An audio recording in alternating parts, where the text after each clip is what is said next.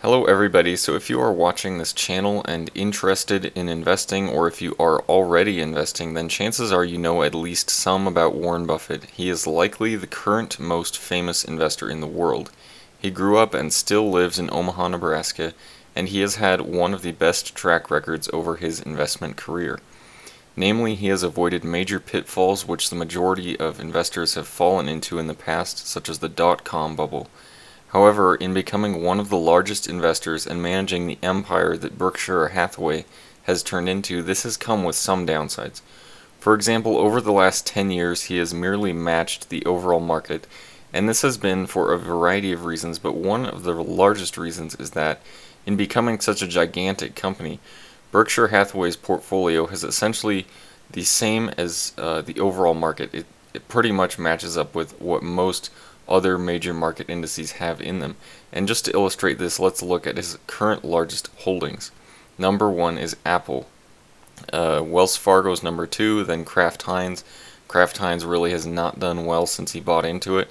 Bank of America, he continues to add to that, even though that also has not done very well for him. Coca Cola, American Express, Phillips 66, US Bancorp, Moody's, Bank of New York Mellon, Southwest Airlines. All these airlines he has sold out of, so this is probably not an updated uh, portfolio. And then from then on, more banks, General Motors, uh, Monsanto, Visa, and then others. Um, so in looking at all of these companies, all of them can be characterized by several traits. Uh, number one, they are very large. Uh, number two, they are included in many other market indices. And number three, they are established companies generally considered more safe than newer startups. Now, on the surface, this might not seem like a big deal, but with all these characteristics added together, this has made it very difficult for Berkshire Hathaway to outperform the market because it has essentially become the market. And even if Berkshire Hathaway might want to buy into smaller undervalued stocks, Berkshire Hathaway is just so massive at this point you know, with hundreds of billions of dollars under management. So even buying an entire small cap company of say a market cap of 500 million wouldn't make much of an impact on them.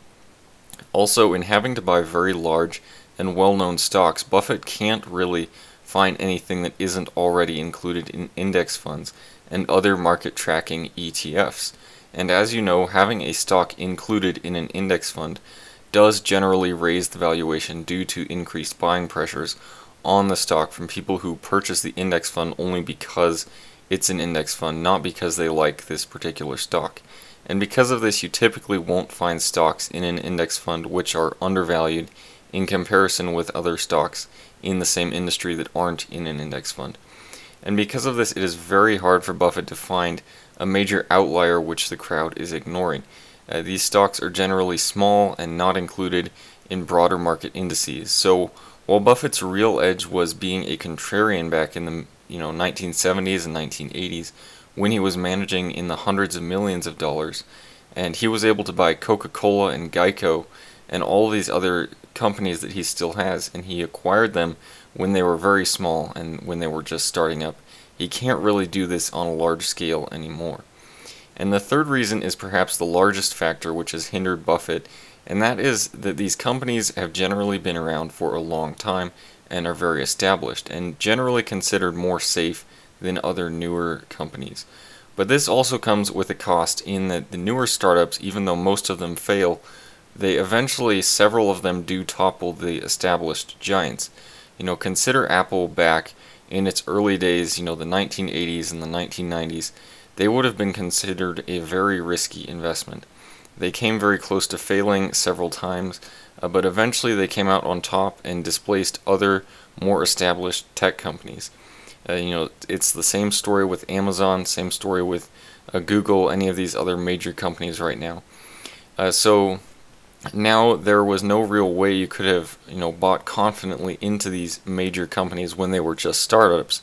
But it does go to show that as the size of the money you are managing grows, it doesn't necessarily make it easier to outperform the market, and if anything, it makes it harder.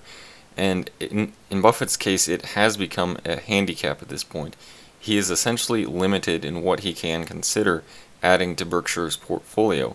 The company has to have a large enough market cap, the company needs to be established, and because of these prior to considerations, they are almost always already going to be included in the broader market indices. So with these circumstances, it is very difficult for Buffett to continue to beat the market, even though in the 1980s and 1990s and early 2000s, he was really, really good at doing that.